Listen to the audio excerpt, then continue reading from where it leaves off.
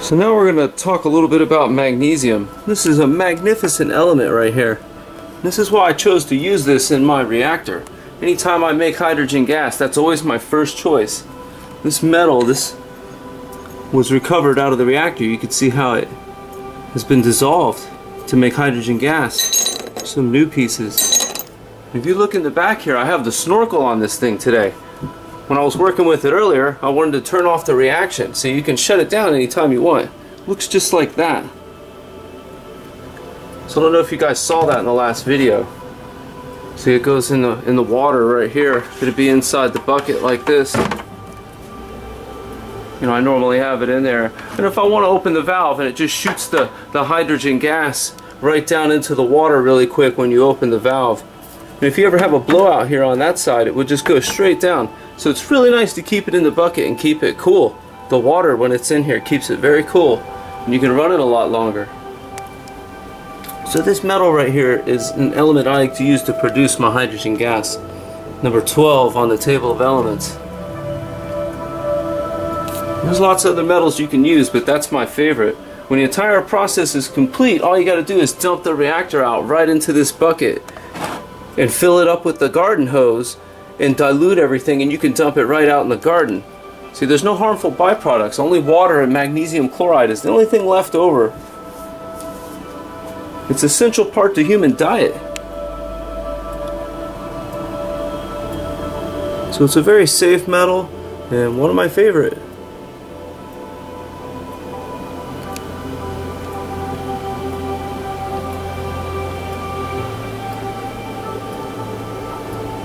And they say over in Egypt that was what they were doing inside the pyramids, but we may never know if they were doing it with electricity or doing it chemically.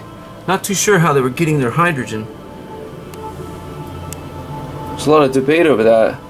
Maybe they were doing it chemically. So if you think about it, this atom, not only is it the smallest atom in the universe, it's also the lightest and the thinnest, so it's easy to make airships. Now we're going to fill up some balloons right here. I got my magnesium. Already got the reaction going. You see everything's running. what I'm going to do here is I'm going to shut off this flame. I'm going to go ahead and hook up the balloon here and fill that up. We're going to make a real quick weather balloon. So hydrogen has huge lifting capabilities. It's much greater and more powerful than helium. You got to remember that. So that one little proton, that electron spinning around, that's what gives it all its lifting power because it's so small, it's so light, and it's so thin. Remember, hydrogen by itself isn't even flammable. When it comes in contact with the oxygen in the air, once it gets in contact with the oxygen, you have a flame. Okay? And you can hardly see that flame. Think about that. I'm going to touch it so you can see it. So it's a very pure gas. It's so pure and so clean that you can't even see it. You remember that. So let's take some of this air and fill up this balloon here. And remember, you can't have a combustion process without oxygen, so it's using the oxygen, the ambient air oxygen, to make that flame you see right there. So what I'm going to do, I'm going to shut off that flame. What's cool, you don't need flash arresters and all that normal stuff that you have when you're using oxygen. But I'm gonna go ahead and hook the balloon up here. Let's hook that up. I'm gonna open the valve for the balloon and shut the valve to the flame. So here's my balloon. Add some books on it to squeeze out the air. So I'm gonna go ahead and fill this balloon up real quick with pure hydrogen. I'm gonna use it as a little airship just to show you that you can fly with this wonderful atom.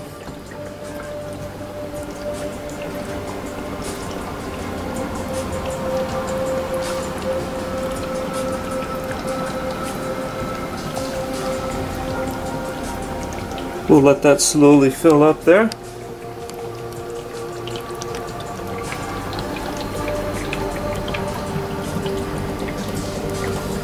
They say the Egyptian pyramids ran like this, but we may never know. You know, that's part of the mystery.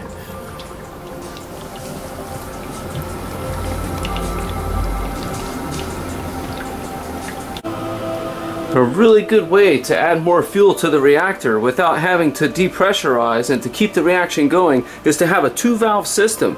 And what I do is I take an extra piece of magnesium and I drop it in there that it's in the chamber, it's ready. I'll close this valve and then whenever I want to drop a new piece of metal down into the reactor, all I have to do is open this valve. See? And it's always closed under pressure. And you can do that every time.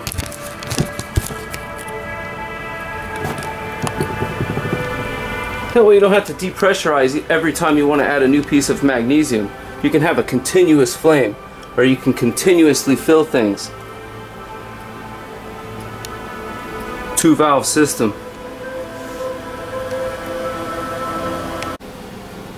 So the reactor itself is impervious to hydrochloric acid.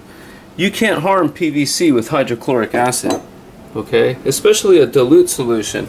But when you're finished, you want to wash this reactor out with the hose really well and wash out the hose. So this thing lasts you a really long time you want to take care of it. You want to take care of the snorkel and you don't have to glue the snorkel on. You could just put it in there like that and as long as the pressure is not too high, when you open that valve, it's just going to shoot it right down into the water. And you guys know the two valve system, so you can keep adding to the reactor. So it really is like Legos, you know, how you want to build it and work with it. And I always keep it in this bucket, and it's good to keep the reactor cool because it does generate heat. And magnesium may cost a little more, but it's very nice metal. It's, it's harmless to humans. And when you're finished, all you got to do is dump everything out in the bucket and super dilute it with the hose. You can dump it right out in the grass. As long as you dilute it with the hose, you're fine. And it's a continuous process. And hydrochloric acid can be produced very easily with electrolysis reactors if you have a Hofmann apparatus. So depending on how you design your system, whether you have a, a double valve where you're working like that or a single valve, you don't have to make it complicated if you don't want to. I'm using a single valve system right now with very dilute acid. You know, I'm doing this to show you guys so you can control the fumes and the rate of the production of your gas. You know, if I was to glue these pieces on there and make it permanent, I would have the two valve system and I, I wouldn't have to relieve pressure and I continuously make hydrogen gas.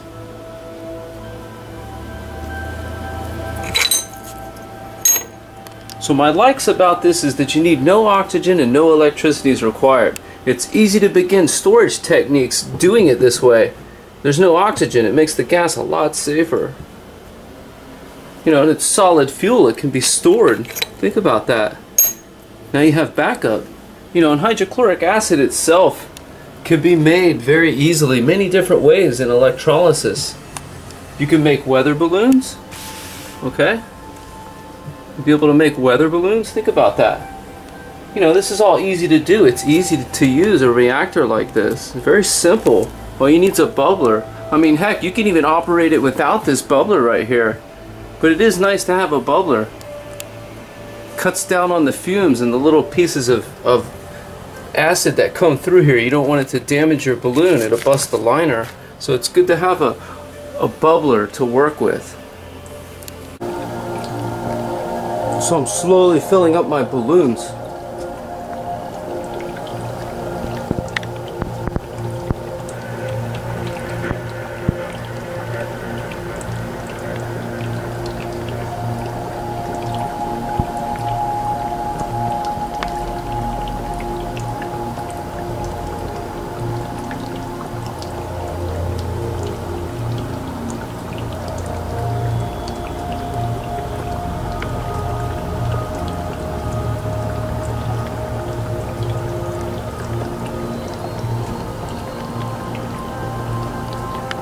Starting to look like a pumpkin.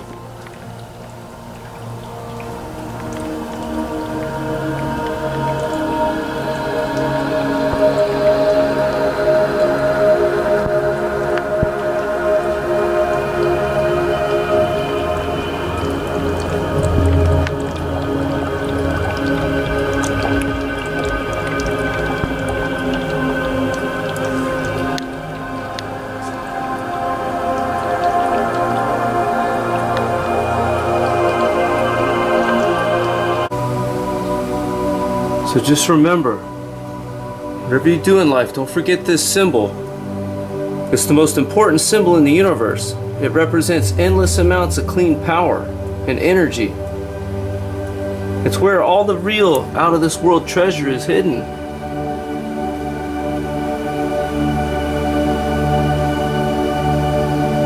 There's more to life than just running in a hamster wheel.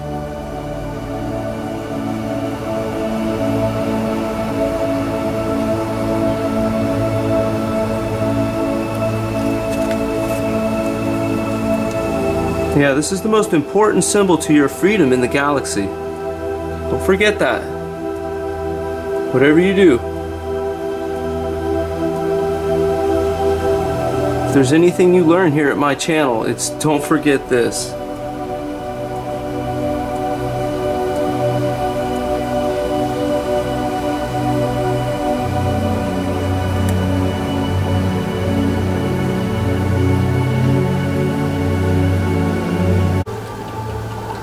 So as we continue on, the magnesium atoms are being consumed by the reactor. As we keep producing more gas and filling the balloons. Remember, this is pure hydrogen gas.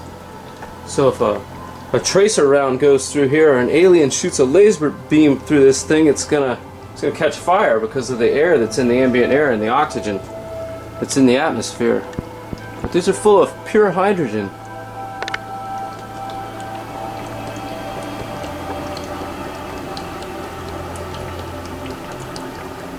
Make sure you have a rubber band like this so you can tie off the end and fill the balloon.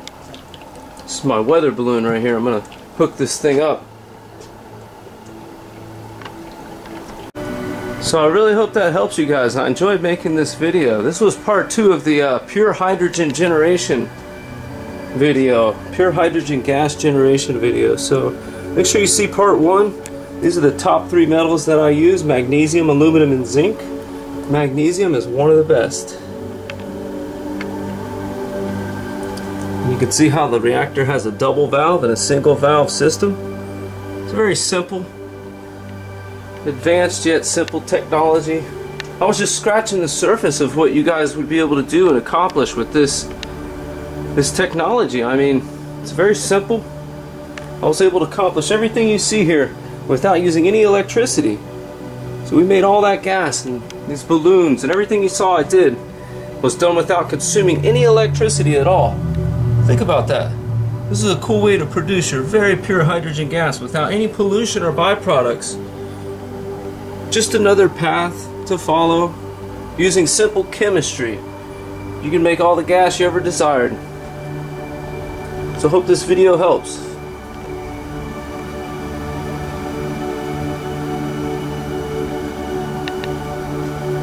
Remember, hydrogen's in the beginning.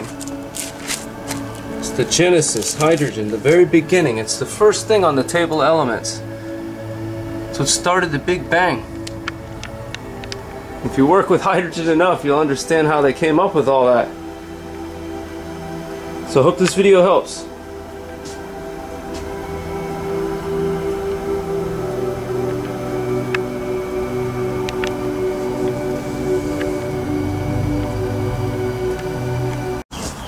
What's up, kitty? What you doing, buddy? How are you? You wanna watch the balloon go? Here we go.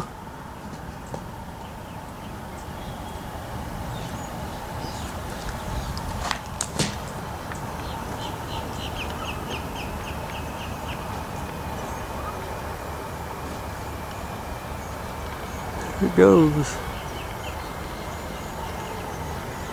I got stuck. no way. That totally sucks. Better blow out of there. Great. A failure. Damn it. Finally, there it goes.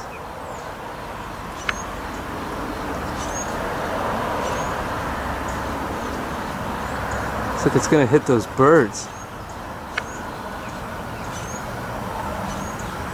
Look out, birds.